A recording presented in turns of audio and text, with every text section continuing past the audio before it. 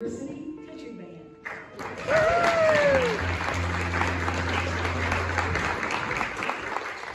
Well, you've heard this guy sing a lot of different songs, but but now he's dressed in black. I wonder why that is. It'll surprise